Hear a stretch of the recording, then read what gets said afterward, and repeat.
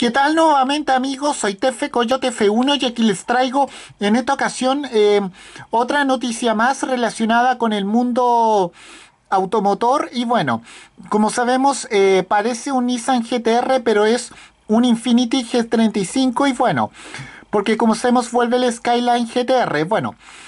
Estos dos nombres que se separaron desde el año 2007 se reencuentran en este Nissan Skyline moderno que quiso recuperar el sello y rostro del GTR por sí mismo eh, mediante esta curiosa preparación y bueno, vamos a hablar un poco de aquello. Bueno, desde esta última generación que que se vive entre, entre el mundo desde nada menos que 2007. Las denominaciones eh, Skyline y GTR viven separadas pese a su largo legado eh, unidas. Ahora el Nissan eh, GTR es un modelo independiente y el Skyline se mantuvo presente como un elegante coche coupé que en mercados como por ejemplo España llega llega a estar presente algún tiempo con, eh, eh, bajo el nombre Infinity G35 Coupé.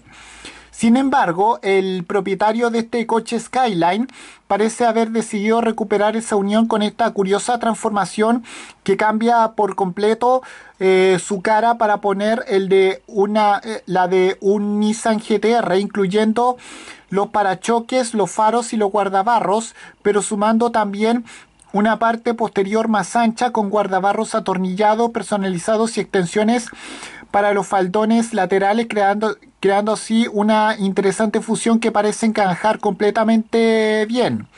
Bueno, también posee unas llantas eh, de bronce marca HPE de 20 pulgadas delante y, de 22 eh, la parte posterior y dos eh, salidas de escape o tubo de escape o escapes como quieran decirle eh, redondos más grandes que los eh, de la versión de serie en la parte posterior.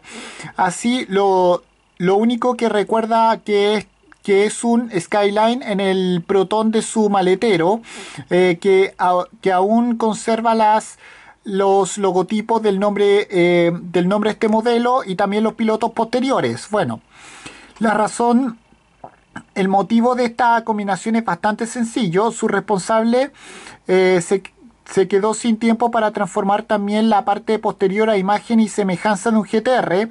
Tampoco se, tampoco se cambió lo que hay debajo del capó, que es un eh, VQ35 tipo V6, un motor eh, de 3,5 litros que tiene como potencia 284 CV y tiene como par máximo 366 NM que van directo hacia las ruedas posteriores mediante una caja de transmisión de 5 velocidades tipo automática, un rendimiento algo humilde, para un, un, modelo GTR, pero que se acompaña de una estética que va a llamar la atención allá por donde sea y con una sección interior llena eh, llena de fibra de carbono. Y bueno, con esto me despido. Adiós, como fuera. Chao.